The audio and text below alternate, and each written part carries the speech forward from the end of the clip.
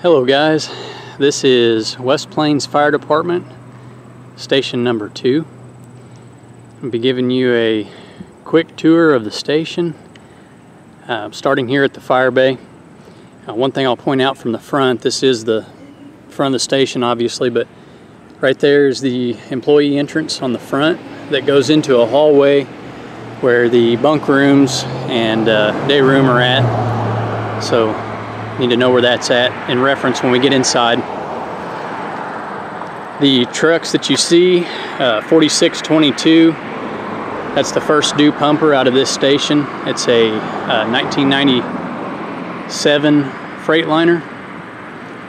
The truck in the middle, 4633, that is a 1987 Ford fire apparatus. That's our reserve pumper and also um, our mutual aid and automatic aid pumper. And then the truck on the end is not actually the truck that would normally be at this station. Normally this would be at my station, station three. Um, this is 4614, the uh, aerial ladder. And normally we would have 4616 here, which is a, uh, uh, I believe it's a Spartan. It's a blue and white uh, ladder truck. So, but this truck's taking its place right now while it's down for repairs. So we'll just start right in here.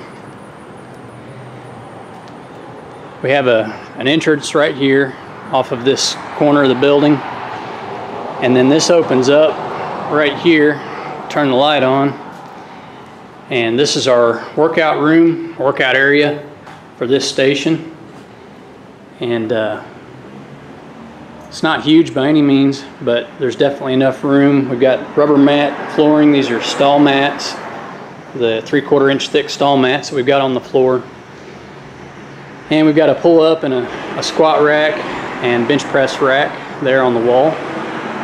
And then a lot of miscellaneous uh, dumbbells rubber bumper plates that uh, CrossFit Somo here in West Plains actually donated to our department for our workout area. And uh, man, those things are nice, especially if you're doing any kind of barbell work. And uh, you know, you can drop them and not, not tear anything up. So we've got some curl bars, a bunch of steel plate weights.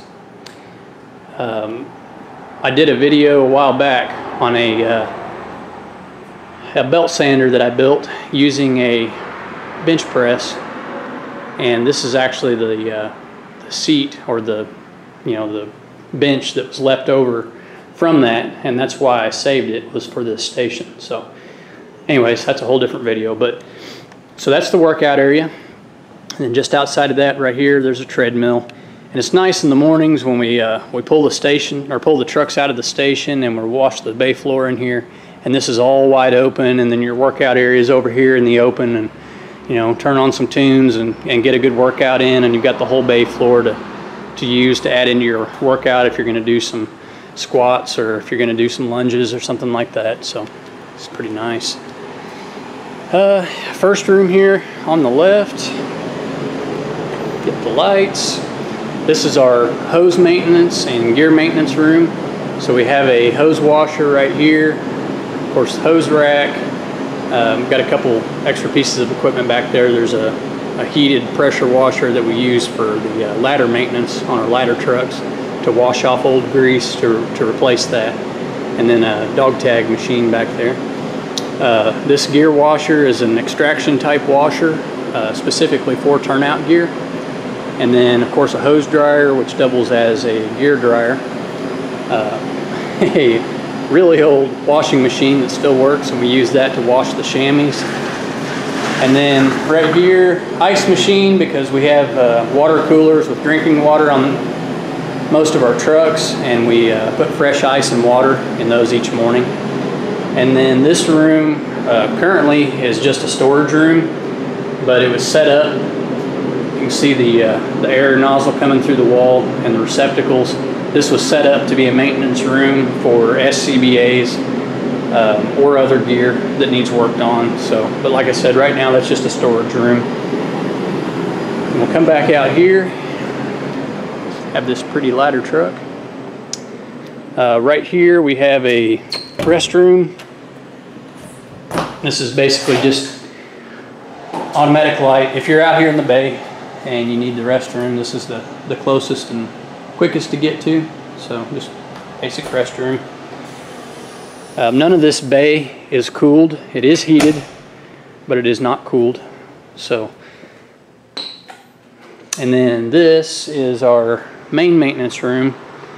Um, you can see all the all the mess that's in here, but we do a lot of our our chemical type stuff in here, um, mixing weed spray and stuff like that for maintenance on hydrants and around the stations. And then we keep our buckets or barrels of sawdust, mowing, mowing equipment. Um, there's the jump start pack, and then our janitor's sink for mopping floors. So then uh, this door right here just goes outside, and that's the uh, back corner of the station. Then we have our workbench back here, which primarily, as you can see, gets used for hose repair and SCBA work. And then the end of the workbench, we've got a little bit of space there to work on other stuff. And these uh, these ladders are off of 4616 while it's at the shop. So they're taking up some floor space back here. But uh, this is our safety house that we take to schools and PR events and uh, run the kids through simulations on anything from earthquakes, tornadoes, um, what to do if your smoke alarm or fire alarm activates. We have a sprinkler system in the front of this where we can actually light a fire and demonstrate how a sprinkler system works or doesn't work. And we'll work our way around here. Here's the back of 4633. Like I said, this is the uh, 1987 Ford fire apparatus.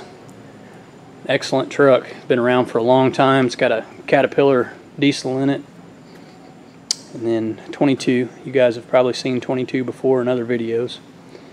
So, uh, oh yeah, I forgot about 28. This is uh, 4628. I don't know the year, but it's uh, one of the military surplus uh, diesel Chevys. Uh, the diesel has kind of given us a lot of trouble. Um, runs good most of the time, but when it's acting up, those those military diesels are kind of a pain to work on. The Chevy diesels, anyway. But uh, it's got a nice utility box on it that uh, some of us guys worked on. Got all cleaned up. It's got a nice skid unit in it um, with the booster line and the uh, inch and a half pre-connect. Got our rakes on both sides and these tubes that run up and down. Uh, works really well for us. And then we keep a couple of uh, Stihl BR600 backpack blowers up here on top. And of course the, uh, the utility bed itself. We've got several chainsaws, um, Indian packs, axes, helmets, um, you know, just all of our brush fire wildland type gear. Um, it, is, it is an automatic transmission, so nice little truck. Then this door right in between the two trucks. I'm going to back up here. This door goes into, actually goes into the dining area, which opens up into the day room. And then that window right there that you see is actually the office. So there's just a dividing wall. You'll see that in a minute. So let's go in here and see where the firefighters spend their time at.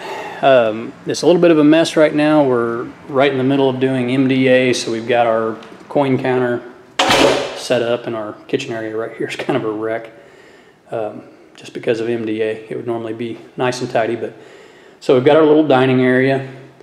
Uh, of course, you can see back in the corner, we've got our, our kitchen. Um, this is our day room area where we can kick back and relax, turn on the TV. Uh, come over here. Here's our office. It's a nice little office for this station. So have everything we need for reports, taking down burn permits, etc., etc. Uh, through this window and through this door is actually a public restroom. There's my shift relief sitting outside.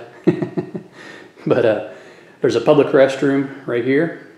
And this door uh, is only openable from the inside, so we can let people in, but uh, they can't just come in without being let in. I'll show you pan around the kitchen real quick. So we've got a nice cooktop stove, uh, microwave, everything but a dishwasher, really. And our uh, cabinets are split up between companies. So whatever company is working here, they've got their own their own cabinet. Uh, this door goes out on a on a patio that wraps around the station and goes all the way back to the beginning of the bay and then slopes down.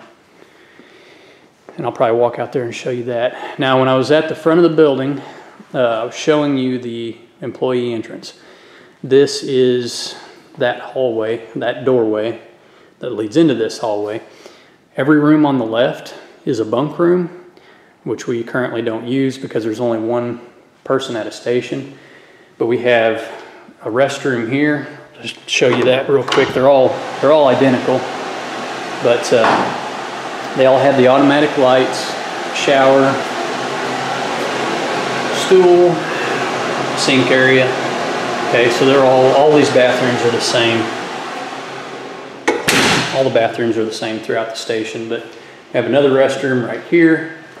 Uh, this is a closet for cleaning supplies. So, you know, just dust broom, all of our cleaning supplies, chemicals, etc. are all in here. And then the last room in the hallway on this side is the captain's captain's quarters. But since we don't have a captain at the station, it's just the engineer. This is our bunk room. Now, my bed isn't made because I'm not staying here tonight.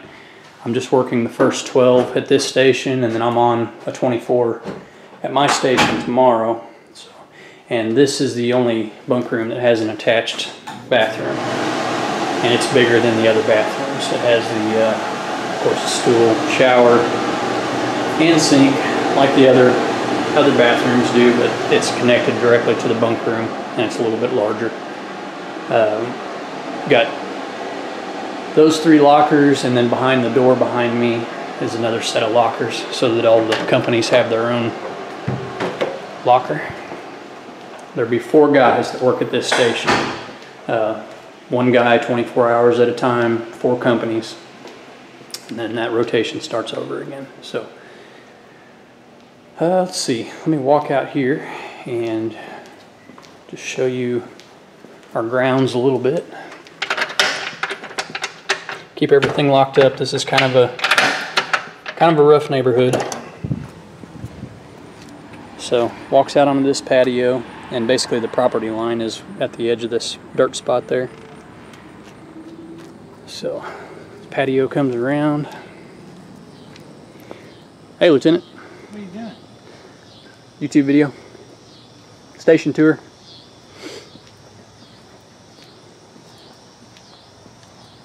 So as you can see this wraps around and then here's our parking back here. So little storage building. So that's uh, that's pretty much it. This this door leads back into the corner of the fire bay and it's vented in the back. And that's about it for station two guys. This is kind of our relaxing area out here. We can grill and hang out on nicer days. So thanks for watching.